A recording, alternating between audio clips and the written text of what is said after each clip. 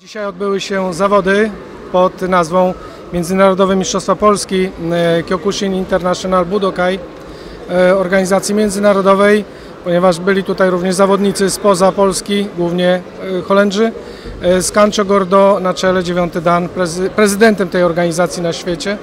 A poza tym, no oczywiście zaszczycili nas przedstawiciele samorządów, tacy jak marszałek Stefan Krajewski, jak e, starosta, który był e, patronem tej imprezy. Oczywiście mówimy o staroście Zambrowskim, panu Rosiaku i panu Rykaczewskim.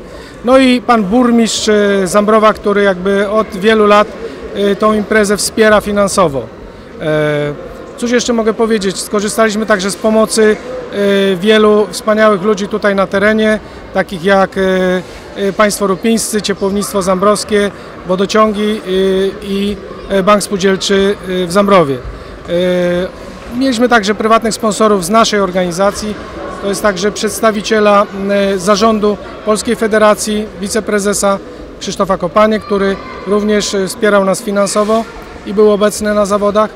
E, Możemy powiedzieć tyle, że w tym roku było 180 zawodników, a rok temu było troszeczkę więcej, o 20 osób. Ale mimo wszystko mieliśmy pełne ręce roboty, ponieważ e, zawody są rozgrywane w kategorii junior i senior.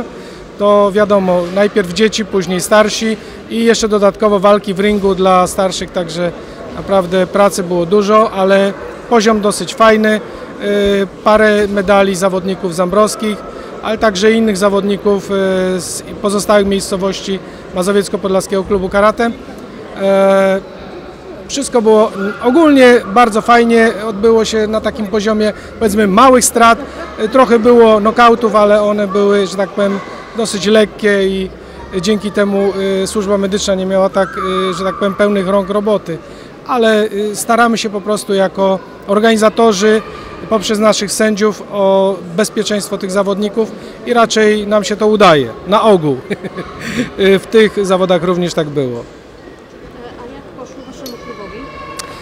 E, Bardzo dobrze, tu jest dużo medali, ale w tym roku były również e, takie niespodzianki, że niestety w walkach finałowych wielu zawodników przegrało walki, tak, o pierwsze miejsce. No bywa, muszą się troszeczkę nauczyć, że tak powiem, pokory, nie osiadać na, na laurach, bo wielu zawodników jest utytułowanych mistrzów Europy, a jednak y, troszeczkę im się, że tak powiem, y, pogorszyły notowania. Ale to jest y, nauczka na przyszłość, żeby nad sobą pracować cały czas i nie osiadać na laurach.